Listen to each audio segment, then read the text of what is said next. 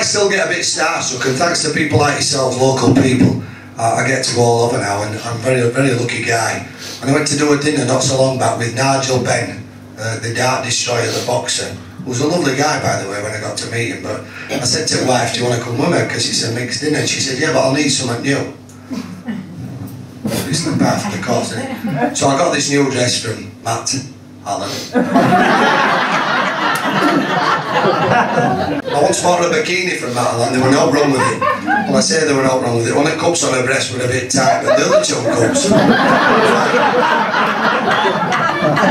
so I'm taking her to do this do in uh, Manchester. And I've got this new dress from Matalan. Now, lads, when we try some more, on we go. Yeah, that's all right. I love that. Ladies, they do their hair, the they put all the rings on, the jewellery, everything, don't they? And they have to look the best just to try the dress on. She's gone into the bathroom to try this dress on. We're not going on Friday, this is Tuesday. She's trying it on. She's been in the bathroom about 43 minutes. I only know that because I've had a tin and a half the fridge. I time everything like that. Most of the lads do, don't they? Now, my mum and dad tried to bring me up right. They said, uh, listen, respect your elders.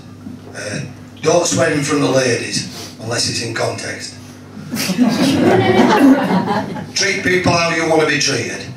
And honesty is the best policy. That's a crock of shit when you're married. You've got to know when to lie just a little bit, haven't you? She'd come out of the bathroom, she went, Oh! Because we get on. I've come to the bottom of the steps. And she went, Be honest with me, because you're always honest. Do I look fat in this? You're a dinner fucked up. I said, If I'm being honest, yeah, you do. I said, but to be fair to you, it is a small bathroom.